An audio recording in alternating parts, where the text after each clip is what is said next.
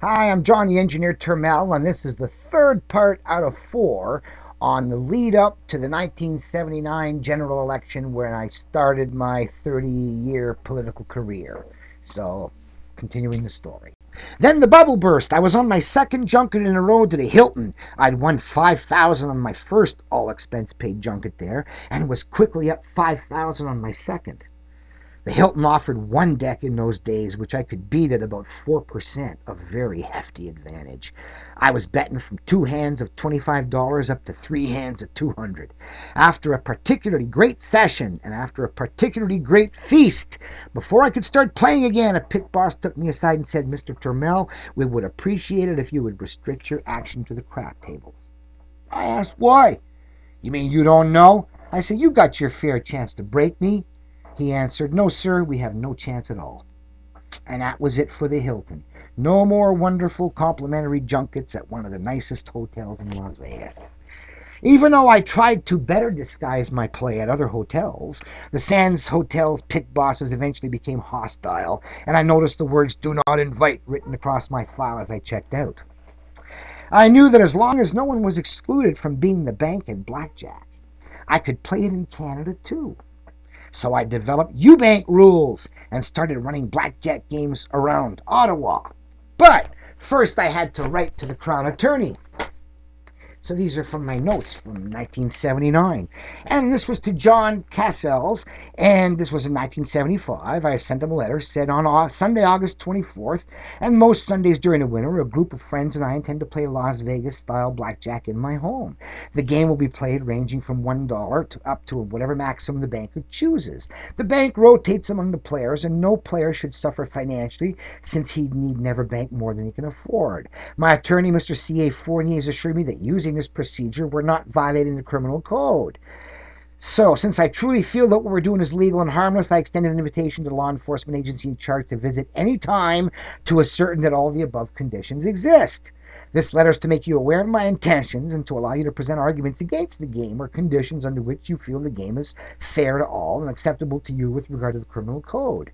So if you would like to discuss the matter further, please contact my solicitor and arrange a meeting. I will make myself available at any time. And it's Mr. C.A. Forney, and I sent a copy to Inspector Zuko.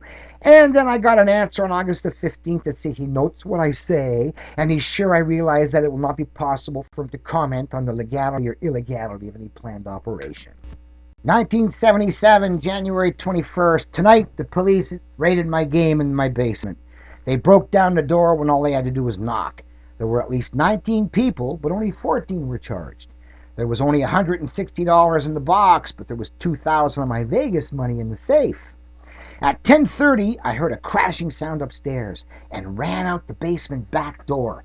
Jumped over the fence and went to my neighbor landlord to call the police to report what I thought was a robbery. Then I called home to stall the robbers. I then learned that it was a police sergeant at the other end of the line. So it was not a robbery, and I had just called for more police. I called again, and he asked me where I was. I said I was not around, and I'd meet him downtown. From my landlord's window, I saw a player approaching the house. I ran out to warn him not to enter just as a police cruiser pulled up to respond to the robbery report. Now, this was a duplex. So here I was with no coat, and I had to explain to him that there'd been a mistake, that there was no robbery, but a fight upstairs. I then mentioned that I was supposed to see Sergeant Keeter downtown and asked him for a ride.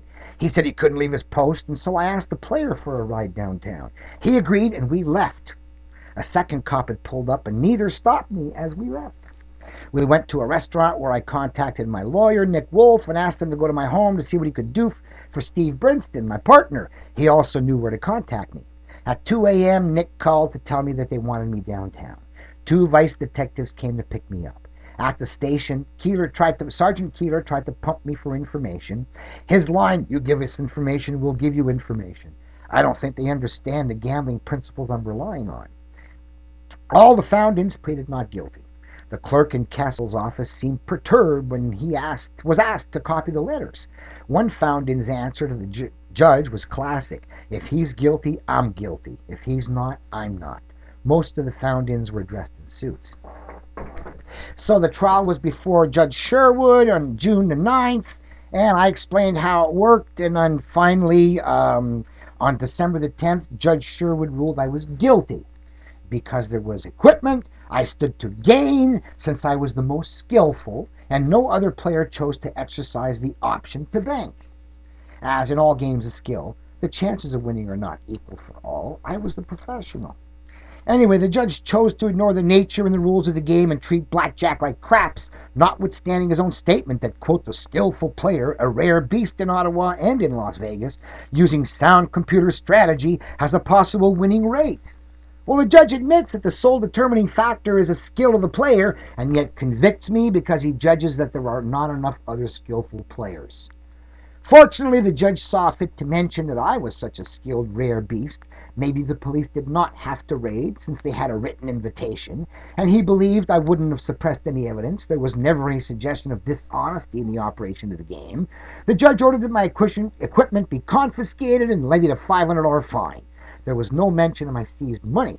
Sherwood said, This isn't a case where you can say that I am not guilty because I thought I'd found a loophole. It was deliberate. They may well have thought they'd found the loophole, but they must have also known that if the loophole wasn't there, they were going to get convicted. Well, that's true in the case of someone who simply commits the act first, but in my case, I consulted four attorneys, wrote to the Crown and the police. What more could I do to ask a legal question without risking getting a criminal record? So watch me go now. Um, anyway, it, I appealed. Now, on the uh, February 78th leading up to the election in 79, on the 2nd of February, within two days, the police raided Art and Moe's craps game and Harry's poker game. I got picked up at the raid at Harry's. I heard a bang and crash. It sounded like a raid, big noises. I had time to put my money away, open my backgammon game, and read a magazine before I reached the top of the stairs. Gentlemen, you're all under arrest, said the arresting sergeant. He was acting all upset like we were a bunch of big criminals. And August 31st, 78, bad laws make criminals we don't need, judge says. Justice Lamer bemoaning, bemoaning the gambling laws. But then finally, in September of 78, the gamblers beat law, say police. Important point the Rockert decision. Police forces across Canada are powerless to fight illegal gambling because of a recent Supreme Court of Canada decision, says a group of police chiefs. Organized crime is doing a flourishing business in gambling thanks to the court's ruling that a one night illegal card game does not constitute a common gaming house, the chief said.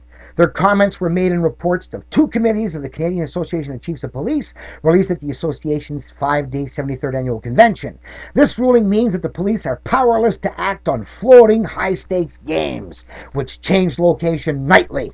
Organized crime can now operate with impunity in this very lucrative activity. The case referred to was the conviction of Harvey Rockert of Toronto and four others on charges of keeping a common gaming house. Police raided an arena where a blackjack game was in progress, and the men were fined a total of $7,000. On appeal, the Supreme Court set aside the conviction, agreeing with Rockert's lawyers that habitual use of premises must be will be proven to establish the place was kept or used as a common gaming house. This ruling has made the gaming house section of the criminal code unenforceable, the chief said. This circumstance is particularly attractive to organized crime figures who will now expand their gambling operations with the newfound immunity. Hey, I wasn't even organized crime, but I was going to expand. The chiefs urged the government to strengthen the laws against gambling. Other forms of gambling and related crime are also on the increase because of a 1976 amendment to the criminal code which legalized slot machines which dispense only free games as prizes, said the chiefs. However, the police chief said there's a significant organized crime involvement in operation of pinball machines and amusement arcades, and so far only John Turmel in poker and blackjack, and Harvey Rockert.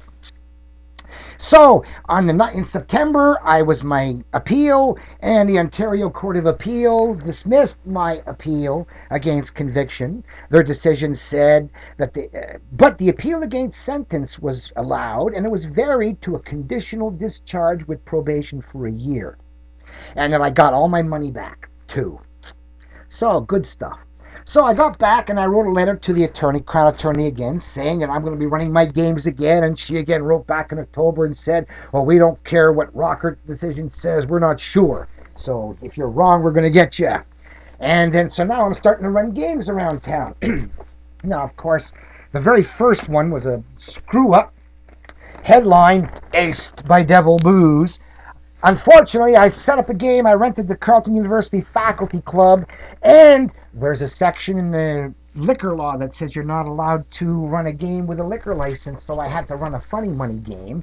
But unfortunately, that really caused shit to hit the fan, and I ended up losing my job. Teaching job lost to Turmel, Turmel to turn full time gambler.